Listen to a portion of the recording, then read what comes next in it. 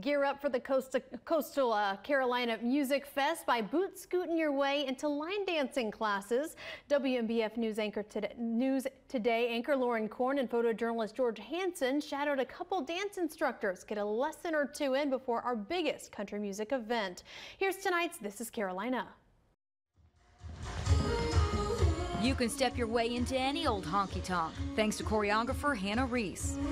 You can start from nothing and make it quite far. And she knows firsthand. You're from the Czech Republic. Yes, correct. How did you get into line dancing? Is that popular there? Uh, no, actually, as a matter of fact, when I was in the Czech Republic, um, I didn't know anything about line dancing, but I was a fitness instructor. Hannah first learned how to line dance in Australia and years later got reintroduced at the legendary Beach Wagon Country Bar in Myrtle Beach before it closed for good. Same atmosphere, bunch of people on the dance floor doing the same thing, and yes, it was line dancing, and um, and I was in love. I was just like, this is it. This is my home. Since then, she's perfected her positions.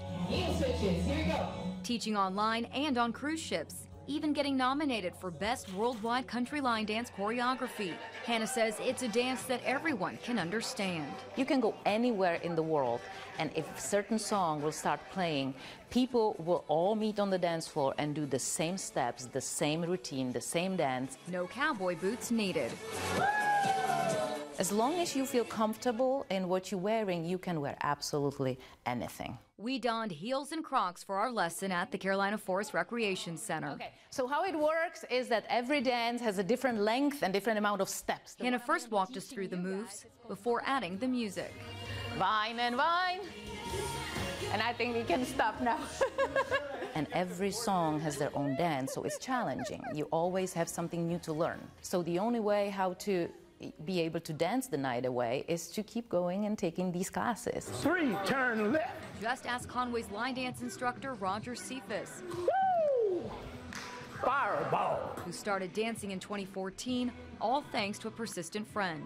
Turn your body. And she says, I'm on the way to line dancing. Won't you join me? So I said, you know, I'm going to go in here and then she'll quit bugging me. I was born in a flame.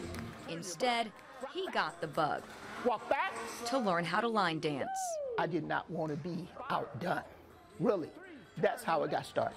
Cha cha cha, rock up. Roger now teaches where he learned at Conway Sports and Fitness Center. Woo! His upbeat personality. Back it up. And his hands-on training Two, packs his classes. Three. Turn. Good time. Between teaching the rock step and the grapevine, both instructors say it's the friendships they've enjoyed the most. The people, the camaraderie, these people here, they treat me so good.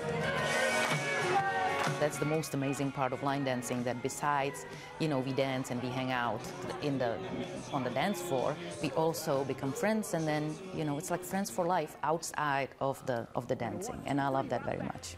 And a one, two, three, rock back. I'm here. Anytime you want to come by, come see. Give yourselves a hand. If you'd like to take one of their classes, just find the story under the This is Carolina tab. And as always, if you have good news to share, email good news at WMBFnews.com or message me on Facebook. In the studio, Lauren Korn, WMBF News.